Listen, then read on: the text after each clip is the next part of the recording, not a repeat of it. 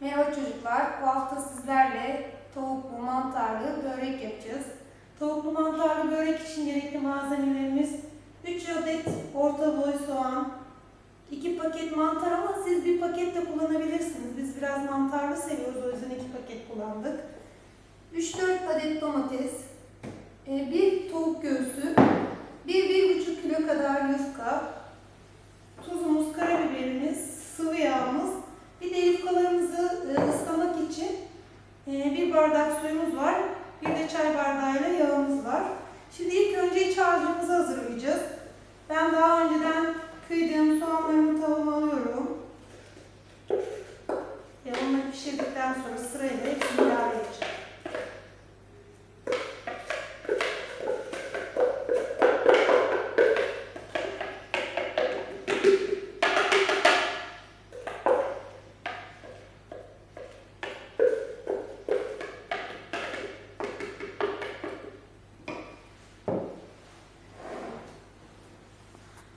Yağımı da ilave edeyim.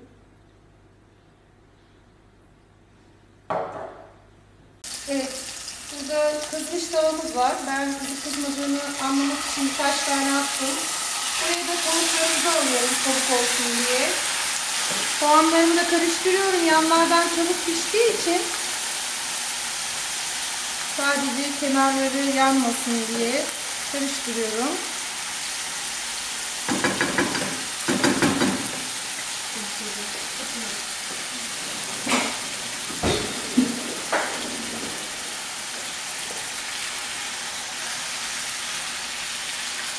Bu şekilde tavuğu da pişirmeye devam ediyorum. Soğanlar kavrulunca mantarı ilave edeceğim. Tavuğu ilave edeceğim ve domatesini koyacağım. Aşama aşama devam edeceğim. Evet. Tavuğumuzun tuzunu koyuyorum. Soğanımızın da şöyle iki çay kaşığı kadar koydum. Bu tamamen sizin damak tadınıza bağlı. Yani daha az seviyorsanız kontrollü bir şekilde koyabilirsiniz. Domates de koyacağımız için ben şimdilik ikişer çay kaşığı koydum. İkisine de.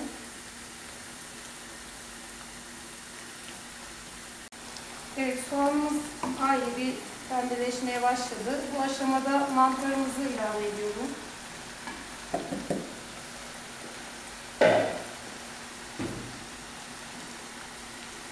Karıştırıyorum.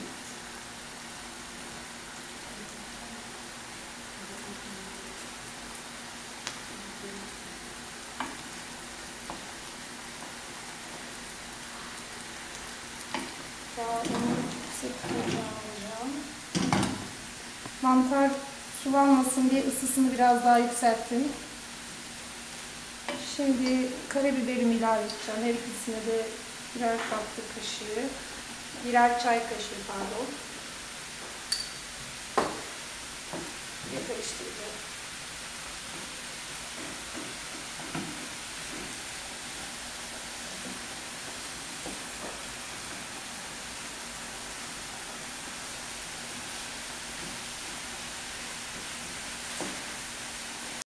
Domatesimizi de ilave ediyoruz.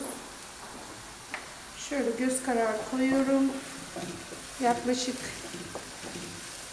2 domates var. Hatta biraz daha koyacağım. 3 tane domatesin rendesi burada var.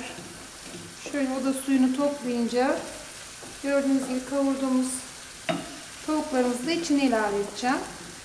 Şimdi tavam çok büyük olmadığı için hepsini birden koymuyorum sulandırmayı artırmasın diye. Sonra içimiz hazır.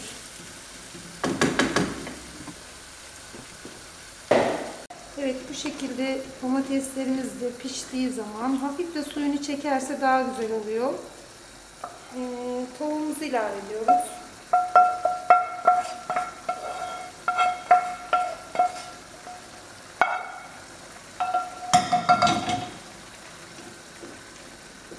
Bir dakikada bunu çevireceğim. Ondan sonra içimiz hazır. Soğuyunca saracağız.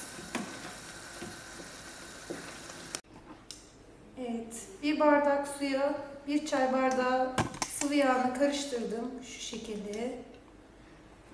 bir fırça yardımıyla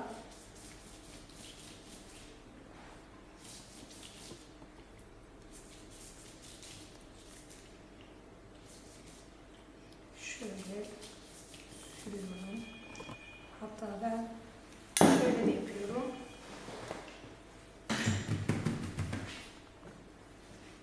Her yerine güzel gelen sürülsün diye. Şu kenarları da tekrar geçiyorum. Sonra muska şeklinde saracağımız için belli genişliklerde kesiyoruz.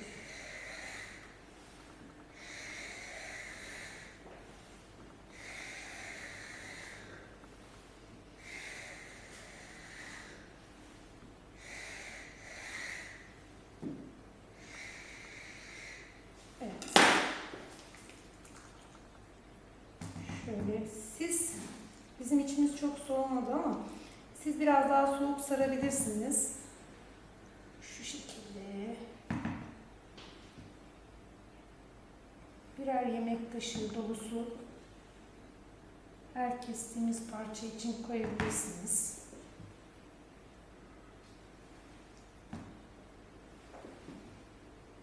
Evet.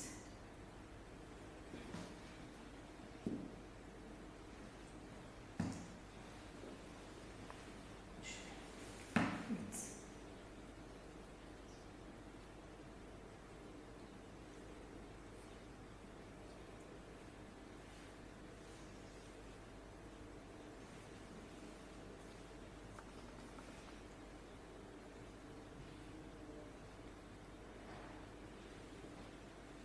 Bir sağa, sola, aşağıya, yana şu şekilde sarıyorum.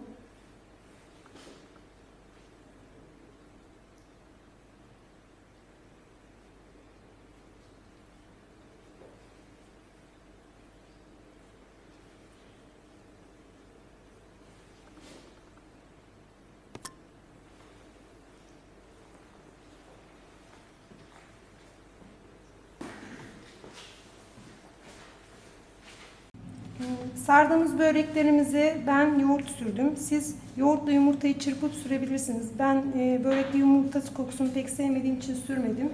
Çörek otu attım. Siz susam da atabilirsiniz. 200 derecede ısınmış fırınımıza veriyorum. Alt üst kızarınca alacağım. Yaklaşık 15-20 dakikaya değişiyor fırına göre. Değişiklik gösterebilir. Kontrollü bir şey. Böreklerimiz kızardı. Dediğim gibi ben yumurta kullanmadığım için bu şekilde oluyor. Siz yumurta sürerseniz daha kırmızı olur. Afiyet olsun.